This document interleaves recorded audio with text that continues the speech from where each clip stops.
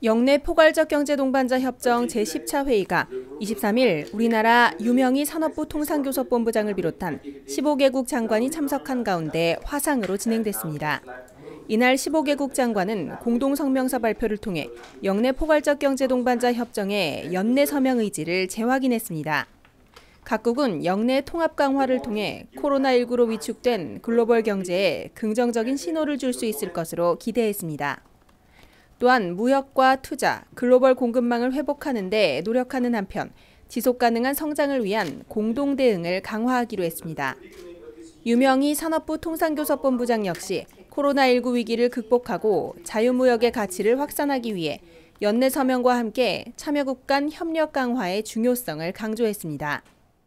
I hope to see more of close cooperation to enhance our policy response and coordination among ISEP participating countries, which I am certain will substantially reduce negative shocks from the coronavirus on global trade and investment.